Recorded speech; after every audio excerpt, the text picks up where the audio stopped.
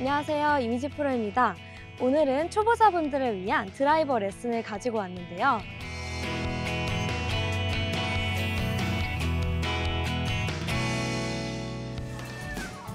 많은 초보자분들이 필드에 와서 제일 많이 하시는 실수를 알려드릴게요. 일단 드라이버, 이 티샷을 하러 올라오시면 많은 분들이 백스윙 갔다가 윽! 이렇게 상체가 나오시거나 아니면 백스윙 갔다가 팔로만 윽! 이렇게 치셔서 scooping과 chicken wing을 발생하게 됩니다. 이렇게 되다 보니 슬라이스가 많이 이렇게 나다 보니 거리 손해를 나게 되고 정확한 contact이 나오지 않아가지고 점점 불안해하시는 분들이 많아요. 그래서 이렇게 어떻게 이 부분에 대해서 고쳐야 하는지 한번 알려드리겠습니다. 먼저 드라이버를 치실 때는 제일 중요하게 생각하셔야 할 부분이 그립이에요. 이 그립 중에 여기 요 통통살, 요 통통살 부분이 최대한 그립에 잡히지 않게 이렇게 잡아주셔야 하거든요. 최대한 손가락으로 잡아준다 라고 생각하고 그립을 잡아주셔야 돼요.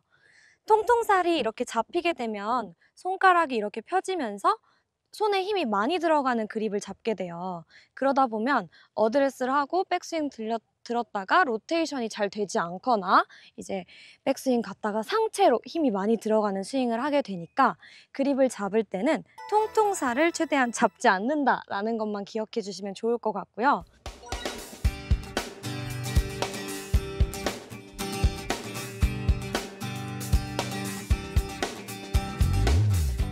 그리고 이제 어드레스를 했을 때는 왼쪽에다가 공을 놓잖아요. 그러면 몸의 정렬은 공보다 오른쪽에 있다고 생각을 해주시면 되는데요.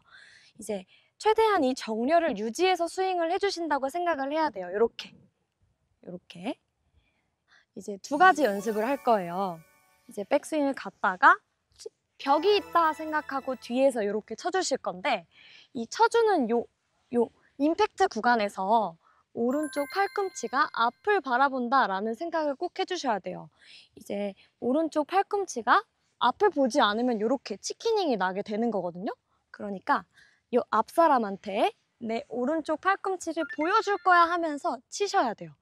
이게 나 똑바로 일단 맞추고 돌릴 거야 하면 늦어버려요. 그러니까 칠 때부터 돌려주고 그 다음에 피니쉬를 잡아주시면 너무 좋을 것 같습니다.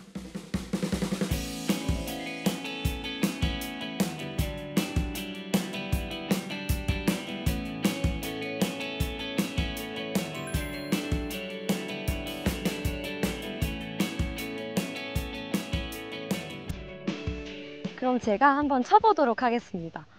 자, 여기서 이제 내가 생각해야 될 거는 그립 잘 잡고 공보다 오른쪽에 정렬 놓고 백스윙 갔다가 여기 벽이 있다 생각하고 오른 팔꿈치 요것만 하면 은 알아서 공 잘 맞을 겁니다. 자, 한번 쳐보겠습니다.